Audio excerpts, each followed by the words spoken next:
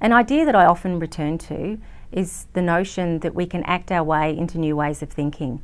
And by that, I mean learning by doing. And I see that in the work we're undertaking with communities and in my own work and the work of the Prevention Centre.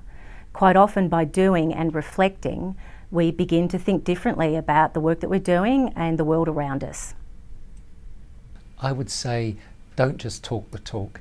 It's very easy to talk about systems, it's very easy to talk about complexity um, and then to default to simple answers if you're going to do complexity, you've got to get beyond the talk and you've got to get into the problem. So the thing I return to again and again is let's let's get away from the rhetoric of complexity and let's get into the complexity of complexity. Uh, I think the insight for me um, uh, is that complex is not the same as simple or complicated. That would be the first sort of observation. And the second is that the solutions to complex problems are not the same as the ones for simple or complicated, but that there are solutions that we can use.